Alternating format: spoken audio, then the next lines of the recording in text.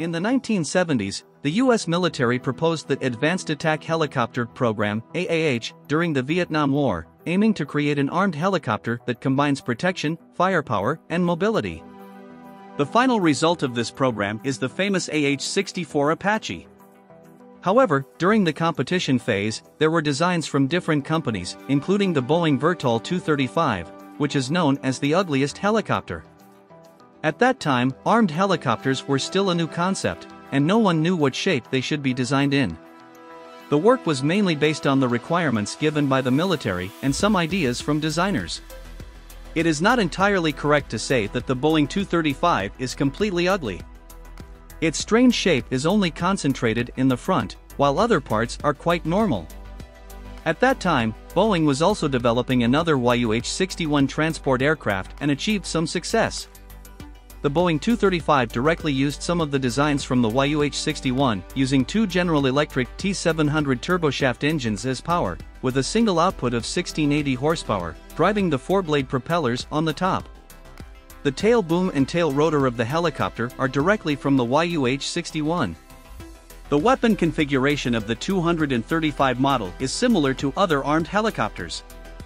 It is equipped with a 30mm cannon installed in a turret under the front of the helicopter, with up to 1,200 rounds of ammunition. It can carry up to 16 TOW or Hellfire anti-tank missiles on the short wings on both sides of the fuselage and can also carry rocket launcher pods. The front of the helicopter does not adopt a symmetrical structure. The idea of Boeing's designers is to provide the pilot and the weapon operator with a wide field of view without increasing the size of the helicopter as much as possible.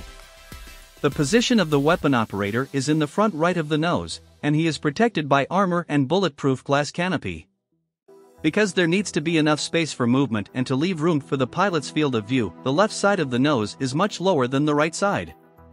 The pilot's position on the left side of the aircraft's axis is further back, and he is also protected by bulletproof glass. This staggered arrangement of crew positions indeed ensures that the helicopter has a smaller frontal projection, which is conducive to reducing the area of protective armor and reducing weight. The field of view for the weapon operator is quite wide, but it also brings some disadvantages. The most direct one is that the pilot's right side field of view is blocked by the weapon operator's position, which is not conducive to flight. Another disadvantage is that it makes the aircraft look ugly. Almost everyone who has seen the Boeing 235 thinks it is the ugliest helicopter.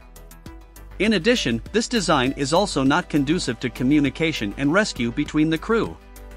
The fuselage of the helicopter is reinforced, and the landing gear is a fixed tricycle configuration, with the tail wheel located near the belly of the tail boom. The main landing gear uses reinforced supports, which can withstand the impact of forced landing more effectively. The Boeing 235 did not produce a prototype. The company submitted a full-size model measuring 15.6 meters and related technical documents to the military for evaluation. The U.S. Army compared it with designs from companies such as Lockheed, and ultimately chose the AH-64 Apache armed helicopter. Boeing 235 subsequently lost the opportunity for further development, and it is believed that its low attractiveness had a negative impact on the military.